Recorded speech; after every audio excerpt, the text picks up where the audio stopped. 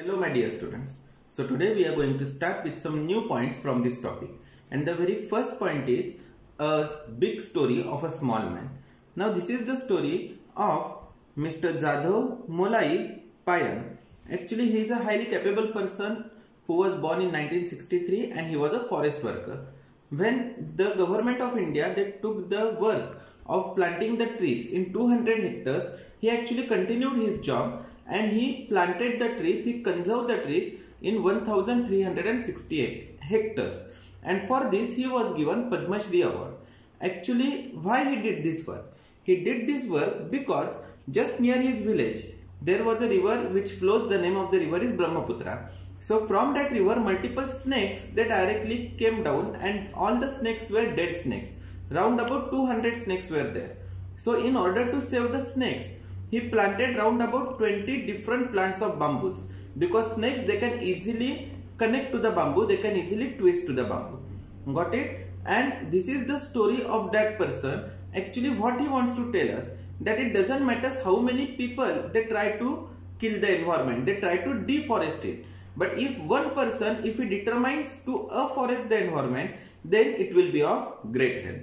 So this is the actual thing what we should know it is a inspiring story and if each and every one of us, if we plant only one plant at the time of our birthday, then also it will be a great help to the nature. So then the next point is the environmental conservation and biodiversity. आता बघा students आपण जेव्हा लहान आहोत होतो तेव्हा आपले grandfather किंवा ग्रँडमदर यांनी आपल्याला कित्येक वेळेला सांगितलं असेल की वेगवेगळे बर्ड्स ते बघायचे वेगवेगळे अॅनिमल्स ते बघायचे वेगवेगळे फिश होते. मग हे सगळे गेले कुठे? ह्या सगळे गेले कुठे? तर they have got extinct extinct म्हणजे काय? की ते पूर्ण अर्थवरनं गायब नाही झालेत. ते टोटली त्यांचे शेवटची स्पिसीज सुद्धा डायरेक्टली अर्थवरनं नष्ट झाली नाहीये तर they are they are on the earth they are somewhere on the earth but the only thing is we have to find them आता सुद्धा जर तुम्ही न्यूज वगैरे बघितली तर आपल्या इथेच जे काही खाडी आहेत दापोल दापोली दाभोळच्या जवळच्या खाडी तर तिथे नाईन्टी पर्सेंट फिशेस जे खूप रेअर होते जे इतके वर्ष लोकांना मिळालेच नाही ते आता लोकांना दिसायला लागले. काही काही ठिकाणी तर डॉल्फिन्स वेल्स हे सुद्धा सी शोरच्या जवळ यायला लागले. And what is the reason behind this the reason is the nature is trying to heal itself okay and why nature tries to heal because the actual enforcement of man human बिंगचा त्याच्यावरती असलेला force तो automatically कमी झाला because of the lockdown हे actually खूप मोठा effect आहे जो नेचरवरती आत्ता ह्युमन्स करत होता आणि आता तो सडनली स्टॉप झालाय. आहे if we go for the nature conservation there are various types of biodiversities in that the very first is genetic diversity now genetic diversity means each and every person they have got different type of genes and the connection of that genes is actually termed as the genetic diversity. Most common example आपण जर का आपल्या इथली लोक बघितली तर ती कशी आहेत? दे आर समवॉट शॉर्ट साधारण एवढे एवढे असतात किंवा अगदी सिक्स फीट्स असतात. परत एकदम फेअर नाही आहेत समवॉट ब्राऊन कलर स्किन आहे आणि पण इम्युन सिस्टीम खूप चांगली आहे. तेच जर का आपण युरोपियन बघितली तर six point five seven feets असतात टेंटेटिव्ह खूप फेअर असतात. पण इम्युन सिस्टीम खूप वीक आहे. कारण जेनेटिकली ते डिफरन्स होतो. अगदी तुम्ही जर का क्रिकेट बघत असाल the student who actually likes to see the cricket त्याच्यामध्ये Caribbean kings Caribbean kings means West Indies आणि श्रीलंकन यांची स्किन समवॉट सेम आहे. But because of the difference in the climate जर कॅरेबियन किंग्स बघितले जर वेस्ट इंडिजचे प्लेयर्स बघितले तर ते खूप उंच आहेत आणि तेच जर का श्रीलंकेचे प्लेयर बघितले तर ते वेस्ट इंडिजपेक्षा खूप छोटे आहेत खूप बुटके आहेत. And this is nothing but the genetic diversity suppose जर का आपण एखाद्या ऑर्गॅनिझमला तर जेनेटिक मधनं आपण त्याला जर कम्प्लिटली नष्ट केलं जर आपण त्याला कम्प्लिटली किल केलं तर ती जेनेटिक बायोडायव्हर्सिटी परत कधी कुणामध्येही दिसणार नाही. नाही याचं अजून एक बेस्ट एक्झाम्पल सांगतो. आपल्या इंडियामध्ये नाईन स्पीसीज होत्या टायगरच्या पण आता फक्त सिक्स स्पीसीज आहेत. कारण थ्री जेनेटिक स्पीसीज टायगरच्या त्या कम्प्लिटली डिस्ट्रॉय झालेल्या आहेत. I think you have got this point my dear students then the next point is species diversity Now in species diversity, there are innumerable of species which are present on this planet. आपण त्या स्पीसीजला control नाही करू शकत. एवढे species आता या प्लॅनेटवरती आहेत. The only thing is प्रत्येक स्पीसीजमध्ये त्याच्या जॉग्राफिकल रिजन्समुळे किंवा त्या जॉग्राफिकल एरियाजमुळे त्यांच्यामध्ये आपल्याला चेंजेस दिसतात. अगदी एक साधं सोपं एक्झाम्पल सांगतो की क्रोज आपल्या इथले जे क्रोज आहेत ते खूप छोटे असतात. त्यांचं खूप जास्त हेवी वेट नसतं. किंवा त्यांचा विंग स्पॅन पण खूप जास्त नसतो.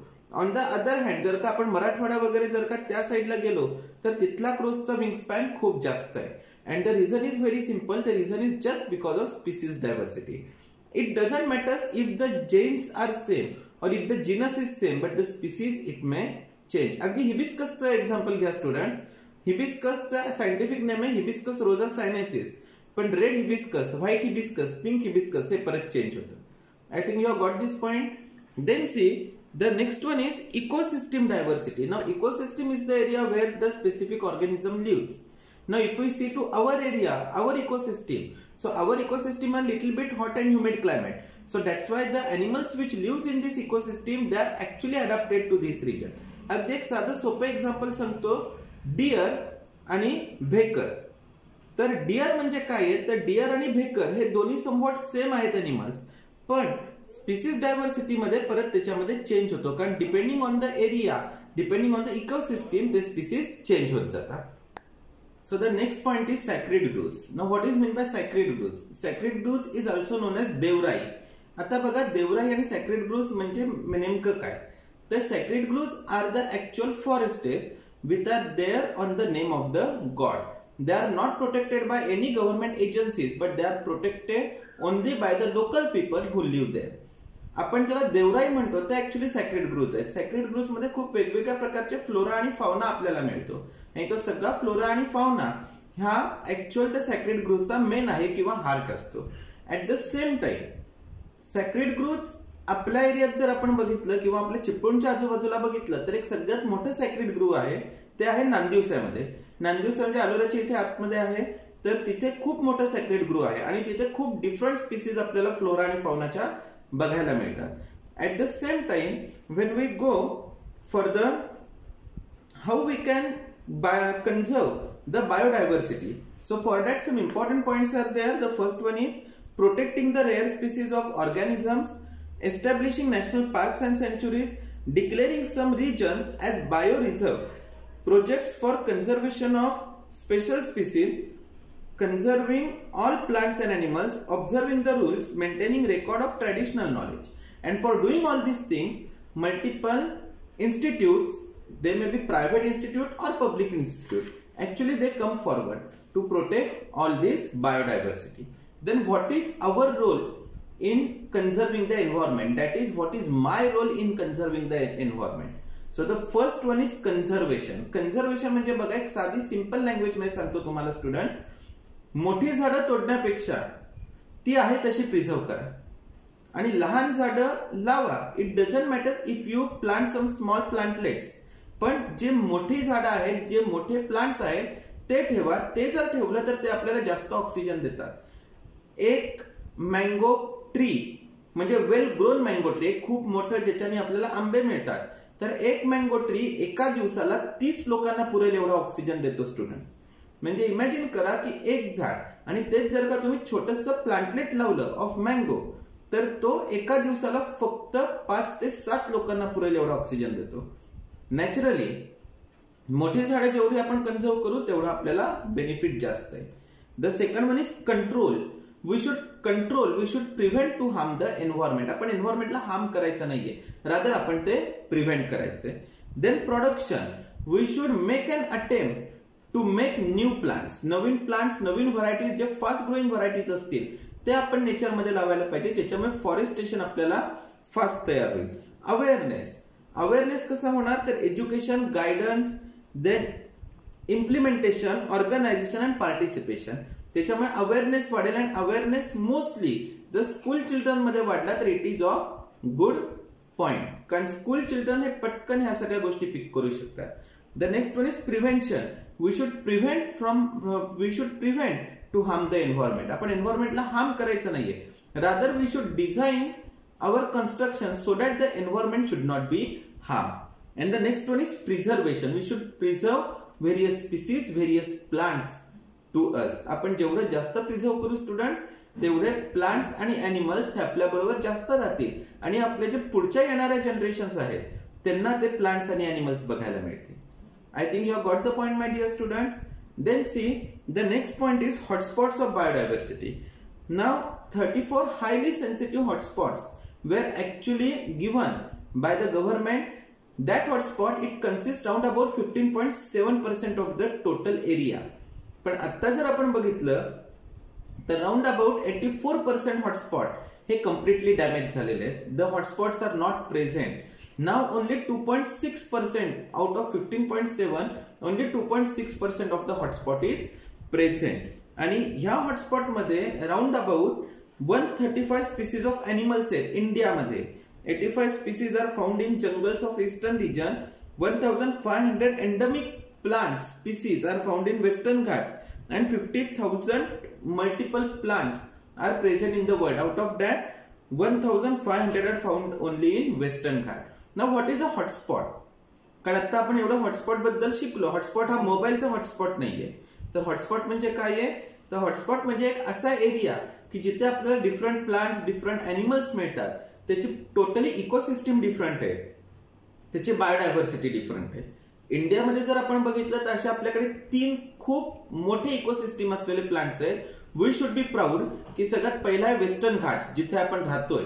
सेकंड आहे Sundarban which is present in West Bengal and the third one is Manas sanctuary which is present in Assam India so now the last point of this topic and the name of the point is classification of threatened species remember student this point it always comes in the exam for one or two marks हा fix one or two मार्क्सचा point आहेच. See the first one is endangered species now see what is the endangered species endangered species is either the number of the organisms is decline or their habitat is shrunk to such an extent that they can be extinct in near future if conservative measures are not implemented ह्याचा meaning बघा काय आहे? की either ते ऑर्गॅनिझम्सच कमी आहेत और त्यांचा जो हॅबिटॅट आहे जिथे ते राहतात ते खूप श्रंक झालंय. म्हणजे ते फ्युचरमध्ये ते ऑटोमॅटिकली गायब होणार आहेत. The example is lion Ted monkey and lesser floricans these are the best example that's why then known as endangered आता एक छोटीशी प्रॉब्लेम होतो एंडेंजर्ड आणि रेअर स्पीसीजमध्ये रेअर स्पीसीज बघा काय आहे. Number of this organisms is considerably decline organism of this species begin endemic may become extinct very fast example red panda and musk deer बघा एंडेंजरमध्ये काय होतं की त्यांचा हॅबिटॅट श्रंक होतोय म्हणून ते डिक्लाईन होत आहेत किंवा म्हणून ते गायब होणार आहेत अर्थवरनं पण रेअर म्हणजे काय आहे? ते ऍक्च्युली डिक्लाईनच होत आहे आणि त्यांचं डिक्लिनेशन कसं आहे? तर declination is very very very fast just like red panda and musk deer red panda red panda हा आत्ता तरी उत्तराखंड या एरियामध्ये खूप जास्त बघायला मिळतोय. पण तो सुद्धा खूप फास्ट एक्सटिंक्ट होतोय. काय एक्सटिंक्ट होतोय? नो वन नोज कारण त्याचं हॅबिटॅट आहे. पण त्याच्या ग्रो व्हायला जे त्याला चान्सेस पाहिजे जे पिरियड पाहिजे तो त्याला मिळत नाहीये. Then see the next one is vulnerable species now see what is vulnerable species number of this organisms is extremely less and continues to decline continuous decline in their number is worrisome reason the best example is tiger and lion okay tiger आणि lions जर आपण बघितलं तर automatically त्यांचा number कमीच होतोय. आणि number एवढा कमी होतोय की ना हा खूप मोठा वरी आहे. आणि पूर्वी जर तुम्ही बघितलं तर पूर्वी टायगर आणि लायन्सचं हंटिंग केलं जायचं आणि म्हणून त्याचा नंबर कमी व्हायचा. आता इंडियामध्ये ऍटलिस्ट थोडासा नंबर सुधारलाय पण तो एवढा फार चांगला नाहीये की ज्याच्यामुळे आपण असं म्हणू की these are not vulnerable species I think you are got the point my dear students then see the next one is indeterminate species now these organisms appear to be endangered but due to some behavioral habitats there is no definite and substantial information. Example is shekru giant squirrel means see what is indeterminate आपण असं म्हणू शकतो की अरे हे spaces extinct होत आहेत these are under the category of rare species पण ते आपल्याला दिसत आहेत का दिसत आहेत कारण ते थोडेसे शाय नेचरचे आहेत. म्हणून ते लपून बसतात. ह्याचा अजून एक एक्झाम्पल आहे स्केली अँटीटर स्केली अँटीटर सुद्धा शाय नेचरचे आहे. त्याला ऍक्च्युली स्मगलिंग केलं जातं पण त्याचं खूप मोठ्या प्रमाणात आहे. ते इंडियामध्ये तरी आहे. अगदी आपण आपल्या चिपकून आणि इथे परशुरामच्या एरियात बघितलं तर इथे आपल्याला खूप चांगल्या प्रमाणात आपल्याला स्केली अँड टिटस बघायला मिळतात. सेकंड एक्झाम्पल आहे त्याचं jaguars okay black panthers black panther सुद्धा आधी म्हणायचे की ते नाहीयेत ते एक्स्टिंक्ट झालेत. पण आतापर्यंत आपल्याला अबलोलीच्या साईडला संगमेश्वर अबलोलीच्या साईडला ब्लॅक पॅन्थर बघायला मिळाला. ह्याचा अर्थ काय की ते शाय आहेत म्हणजे ते इनडिटर्मिनेट फिक्स नाही आहेत क्लिअर स्टुडंट्स म्हणजे बघा एंडेंजर्ड एंडेंजर्ड म्हणजे काय? हॅबिटॅट श्रिंक होतंय म्हणून ते त्यांचा नंबर कमी होतोय. रेअर त्याचा नंबर ऍक्च्युलीच कमी होतोय रिझन माहिती नाहीये पण खूप कमी व्हायला लागलाय तो आणि खूप फास्ट कमी होतोय. वर्नरेबल म्हणजे काय? की ते डिक्लाईनच आहेत आणि ते अजून डिक्लाईन होत आहे आणि आय थिंक काही वर्षानंतर ते पूर्ण अर्थवरनं गायब होतील. मग अशी मी एक्झाम्पल दिलं तर टायगरचं नाईन स्पीसीज होत्या त्याच्या आता फक्त सिक्स राहिले आहेत त्यानंतर इनडिटर्मिनेट म्हणजे काय? की ते डिक्लाईन होत आहेत की नाही आपल्याला माहिती नाही कारण की शाय नेचरचे आहेत ते लपून बसतात. आणि आपल्याला पटकन कळत नाही की ते आहेत किंवा नाही आहेत I think you have got the points my dear student our responsibility is that to protect the nature we are not the lord of this planet we are the servant of this planet and by this I conclude my topic and also we had completed this topic from our science two thank you very much